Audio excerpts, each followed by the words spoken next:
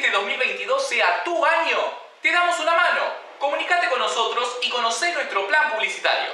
Nos encontramos en la esquina de Olavarría y Libertad, pleno centro de Quilmes, lugar donde cerca de las 8 y 10 de la mañana se produjo un accidente en donde se vieron involucrados un Peugeot 408 y una Renault Kangoo, ambos de color gris. Según lo que se pudo saber, la Kangoo venía circulando por esta calle Olavarría y al llegar a la esquina con Libertad es tocado por el 408 y eso hizo que la camioneta terminase volcando. El conductor quedó atrapado y se tuvo que requerir la presencia de bomberos voluntarios, quien, junto con personal policial, lograron extraerlo del vehículo y fue trasladado por una ambulancia del SAME hacia el Hospital Iriarte, que está ubicado justamente a una cuadra de la esquina del siniestro.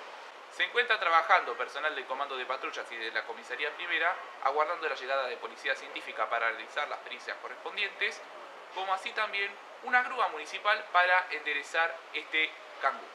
Vecinos comentan que no es la primera vez que hay este tipo de choques aquí en esta esquina y reclaman que haya un semáforo en la misma. Escuché una frenada y después un golpe más grande y ahí me asomé y vi que una camioneta estaba volcada y querían sacar al, dueño del vehículo y no podían hasta que lo pudieron sacar y lo llevaron al hospital. O sea, bueno, lo sacaron los bomberos. Sí. Entre los bomberos y la policía. ¿Suele haber este tipo de choques acá en la cuadra? Y sí, en realidad acá tendrían que poner un semáforo.